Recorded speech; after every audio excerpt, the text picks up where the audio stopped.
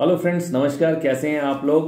सो so, आज का video friends होने वाला है उन बिजनेसमैन के ऊपर उन मैन्युफैक्चरर्स के ऊपर उन ट्रेडर्स के ऊपर उन रिटेलर्स के ऊपर जिनका बिज़नेस सक्सेसफुल नहीं हो पा रहा है।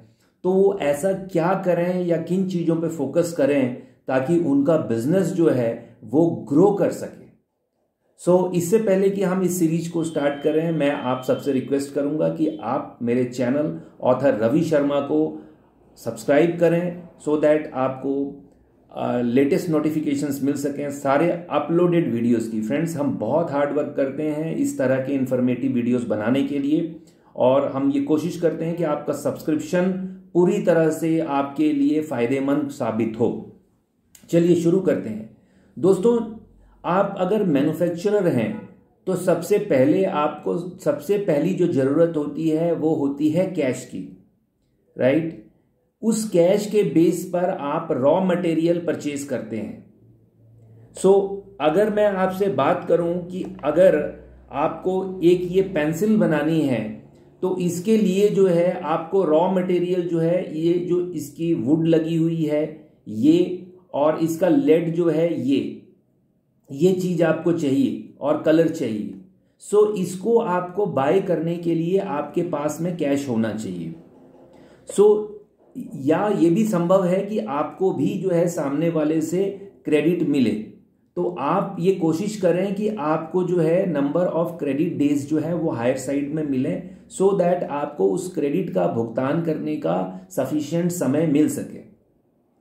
लेकिन दोस्तों, यहाँ मैं आपसे एक बात ज़रूर बोलूँगा कि आप अपनी क्रेडिबिलिटी यानी कि मार्केट में जो आपकी रेपुटेशन है, वो पैसे देने के मामले में भी बहुत ही उम्दा और अच्छी रखें। इससे होगा ये क्योंकि हमारी मार्केट ये बहुत छोटी है दोस्तों। आप अगर मार्केट में क्रेडिबल इंसान हैं आप किसी से कोई उधार लेते हैं, आप उधार लेकर के, क्योंकि बिज़नेस करना है तो उधार देना भी पड़ेगा और उधार लेना भी पड़ेगा।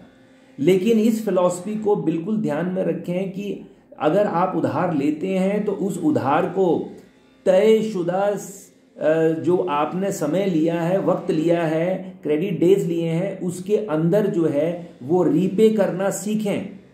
इससे होगा ये कि आपकी मार्केट में क्रेडिबिलिटी बनेगी, आपकी साख बनेगी, आपकी पॉपुलैरिटी बनेगी और इससे आपको बिज़नेस करने में ऑर्डर्स मिलने में और आपको सामने वाले से जो क्रेडिट डेज़ मिलेंगे, उन सब में बहुत हेल्प मिलेगी। राइट दूसरी बात, जब आपके पास रॉ मटेरियल आ जाता है तो फ्रेंड्स आपका एक ही समय में जो है पेंसिल बन के तैयार नहीं हो जाती और ये उसके अंदर पेंट नहीं हो जाता, वो बिल्कुल तैयार नहीं। हो सकता है कि पहले दिन ये पेंसिल का स्ट्रक्चर तैयार किया जाए और उसके अंदर लेड डले। दूसरे दिन जो है इसका फिनिशिंग वर्क हो, इसके अंदर कलर और डिज़ाइनिंग सारे काम जो हो और दूसरे दिन ये पेंसिल बन करके तैयार हो। तो जो कुछ समय के लिए जो है आपका रॉ मटेरियल जब मशीन के ऊपर चढ़ता है तो वो वर्क इन प्रोसेस स्टेज में जाता है। तो उसके बाद जो आपका ऑपरेटिंग साइकिल है, वो शिफ्ट होता है फिनिश गुड्स की ओर। यानी कि आपकी फिनिश गुड्स जैसे कि मैं अगर ये पेंसिल की बात कर रहा था तो आपकी पेंसिल जो है बन करके तैयार हो गई है। अब ये आपने ध्यान रखना है कि आपका रॉ मटेरियल से work in process work in process से फिनिश गुड्स बनने के बीच में का जो समय है, वो समय भी ज़्यादा मतलब कि ओवर ना लग जाए। इससे होता ये है कि आप कई बारी ध्यान नहीं देते होंगे, लेकिन बीइंग अ मैन्युफैक्चरर आपका पैसा उतने टाइम के लिए कैपिटल आपका ब्लॉक हो जाता है। और फिर आपको जो फंड्स हैं, उसकी रियलाइजेशन में भी देरी होती है, यानी कि आपको पैसा वापसी में भी देरी होती है। देखिए दोस्तों, जितनी जल्दी रॉ मटेरियल कन्वर्ट होगा और फिर सेल होगा, उतनी ही जल्दी आप एक्सपेक्ट करेंगे कि वो दोबारा से आपको बिज़नेस में पैसा जनरेट करेगा। सो ऑपरेटिंग साइकिल को बड़े ध्यान से समझिए। जब आपने कैश आपके पास आया, आपने बैंक से कैश लिया या आपका अपना कैश है, वो कैश से आपने रॉ मटेरियल बाई किया रॉ मटेरियल को आपने मशीन में प्रोसेस करना शुरू किया तो वो कुछ समय के लिए वर्क इन प्रोसेस स्टेज में आया। उसके बाद वो फाइनली जो है बन करके फिनिश गुड्स के रूप में कन्वर्ट हुआ। तो फाइनली अब जब फिनिश गुड्स बन जाती है तो एक बहुत इंपॉर्टेंट काम आता है, वो ये है कि आपको अब इस प्रोडक्ट को मार्केट में बेचना है। अब बेचने के दोस्तों, दो ज़रिए हैं। पहला ज़रिया जिसको ऑप्शन वन बोलेंगे, वो ये है कि आप इस प्रोडक्ट को मार्केट में कैश सेल करें। अब जब आप किसी को ये प्रोडक्ट सेल करके और वो भी एक होल सेलिंग करके मतलब एक बड़े चंक में, एक बड़ा ऑर्डर के रूप में अगर आप सेल करना चाहते हैं तो सामने वाला आपसे एक कैश डिस्काउंट की उम्मीद रखेगा। तो ऐसे में आप ऑप्शन वन को चूज़ करें और कैश डिस्काउंट दे करके तुरंत जो है कैश जो है आप प्राप्त कर सकते हैं, पा सकते हैं और वो कैश दोबारा से बिज़नेस में इन्वेस्ट करके अपने प्रॉफिट को मल्टीप्लाई कर सकते हैं। दोस्तों कैश सेल करना करते वक्त अगर आपको कैश डिस्काउंट थोड़ा देना पड़ जाता है तो मैं कहता हूँ आज के सिनेरियो में ये एक बहुत ही अच्छा जो है ऑल्टरनेट है। लेकिन ये सिनेरियोज हंड्रेड परसेंट नहीं होते फ्रेंड्स आज का सिनेरियो ये बन चुका है क्योंकि मार्केट में रिसेशन के दौर जो है वो जारी हो गए हैं। कभी मार्केट नीचे आती है, कभी ऊपर आती है। जनरली मार्केट का ट्रेंड नीचे की तरफ़ रहता है। कॉम्पिटिशन्स बहुत हाई हैं। फॉरेन मार्केट से जो है प्रोडक्ट सस्ते रेट्स में आ रहे हैं। चाइना जैसी कंट्रीज़ जो हैं डंप कर रही हैं। माल इंडिया में बहुत ही चीपर रेट्स में। तो ऐसे में कॉम्पीट करना बहुत मुश्किल हो जाता है। तो जैसे ही आपका फिनिश गुड्स जो है बन करके तैयार होता है आपको उसका जो है आजकल का जो सिनेरियो हो गया है कि लोग माल आपका बिक तो जाता है लेकिन वो आ, सामने वाला जो है वो आपसे कुछ क्रेडिट डेज़ की एक्सपेक्टेशन रखता है। वो कहता है कि आप मेरे को माल जितना दो दे दो लेकिन मैं आपको पेमेंट जो है 45 डेज़ से 180 दिनों का जो मार्केट ट्रेंड है जनरली जो बन चुका हुआ है इनफैक्ट आजकल 90 दिन का मार्केट जो है क्रेडिट डेज़ जो है, वो बन चुके हुए हैं। तो वो भी कई बार एक्सटेंड हो जाते हैं। तो इतनी देर तक जो है, जैसे ही आप सेल करते हैं उधार पे तो आपके डेटर्स बन जाते हैं और वो डेटर्स जो है, आपकी पेमेंट जो है, उसको ब्लॉक कर देते हैं। और वही पेमेंट आपको 90 दिन 120 दिन, कई बारी 180 अस्सी दिन तक जो है, और इससे भी ज़्यादा कई बारी जो है आपकी पेमेंट अटकी रह जाती है। तो होता ये है कि ये पेमेंट तो आपकी ब्लॉक हो गई, अब आपकी अगली चेन जो माल बनने की चलनी थी, उसके लिए फिर से आपको कैश की ज़रूरत होती है।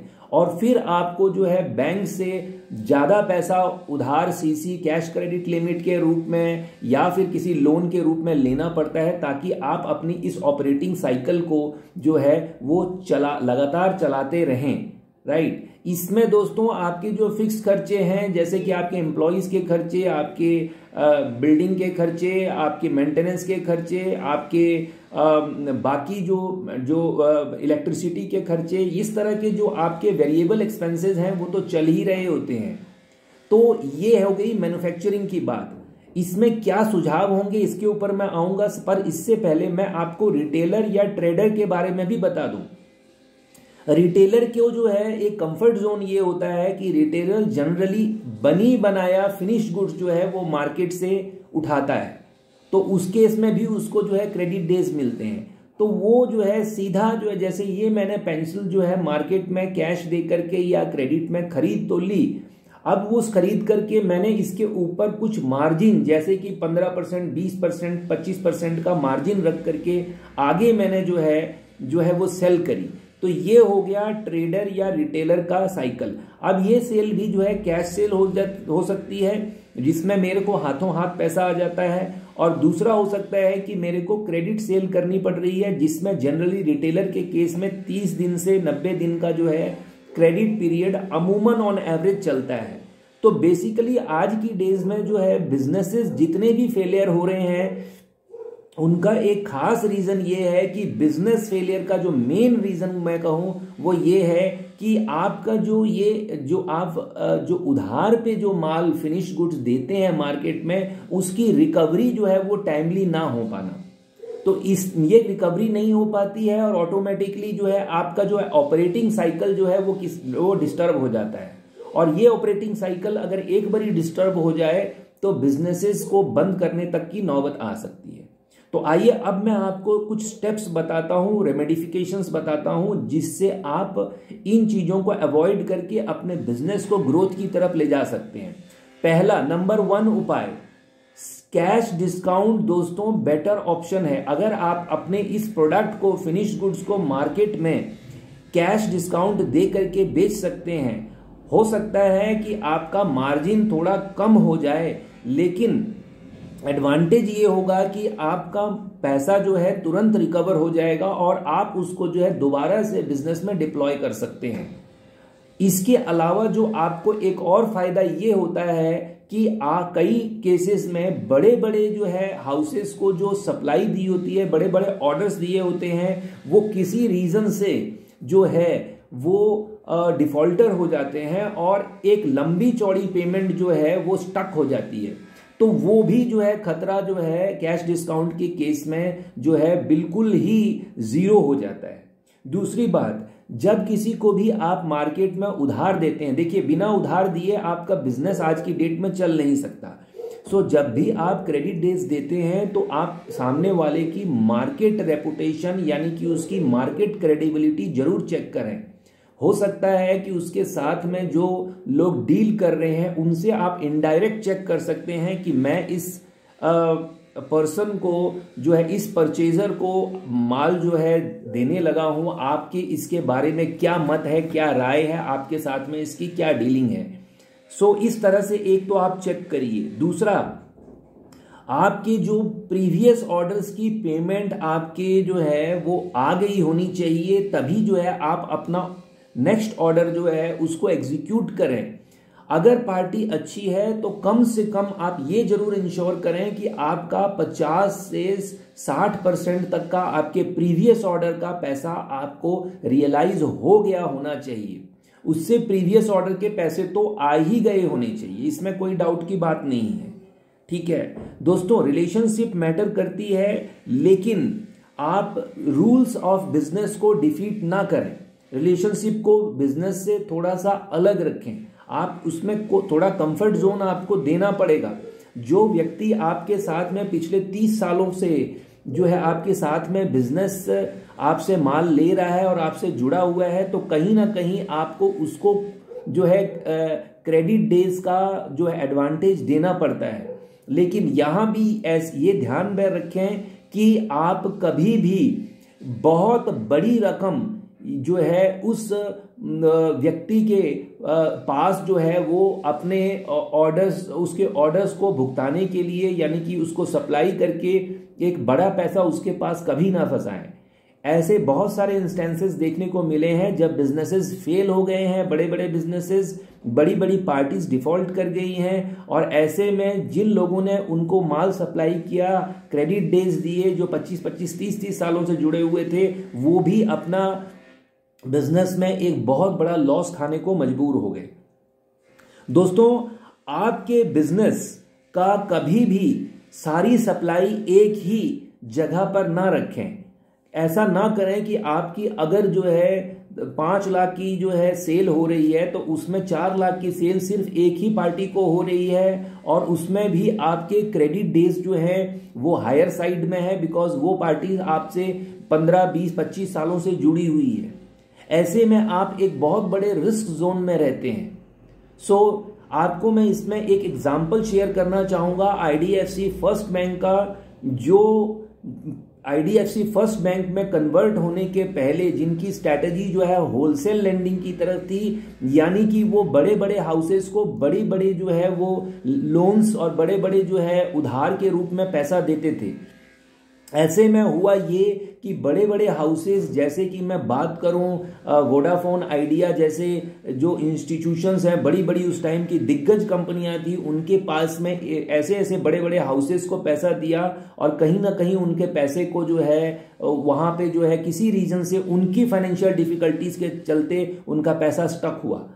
तो मैं ये कहना चाहता हूँ कि फिर उन्होंने जो है आईडीएफसी फ़र्स्ट बैंक में कन्वर्ट होने के बाद में उन्होंने अपनी स्ट्रैटेजी बदली और अपने पैसे को रिटेल लैंडिंग में लगाया, यानी कि अगर उनके पास में, अगर पाँच रुपए हैं तो उन्होंने पाँच रुपए को पाँच हिस्सों में बांटना बेहतर समझा है। ना कि पाँच रुपए को एक व्यक्ति को देना और वो भी जो है ऐसा, ऐसे व्यक्ति को देना जो बहुत ही रसूखदार और पावरफुल व्यक्ति है और किसी केस में अगर उस व्यक्ति ने जो है पेमेंट देने में कोई आनाकानी की तो ऐसे केस में जिस व्यक्ति ने उसको क्रेडिट डेज़ दिए हैं, उसका जो है पूरा का पूरा बिज़नेस जो है, वो स्टेक पर आ जाता है और खतरे में आ जाता है। सो ये थी कुछ बातें जो आपको अपने बिज़नेस को स्टार्ट करते वक्त या आप एक बिज़नेस कर रहे हैं सक्सेसफुल बिज़नेस की तरफ़ प्रोसीड करना चाहते हैं तो ये कुछ बातें थी जिनका आपको ध्यान रखना चाहिए। आशा करता हूँ कि ये बातें आपके लिए फ़ायदेमंद साबित होंगी। सो so, दोस्तों फाइनली मैं आप लोगों से ये गुजारिश करूँगा रिक्वेस्ट करूँगा कि मेरे चैनल ऑथर रवि शर्मा को ज़रूर से सब्सक्राइब करें। Thanks for watching and take very good care of your self thank you.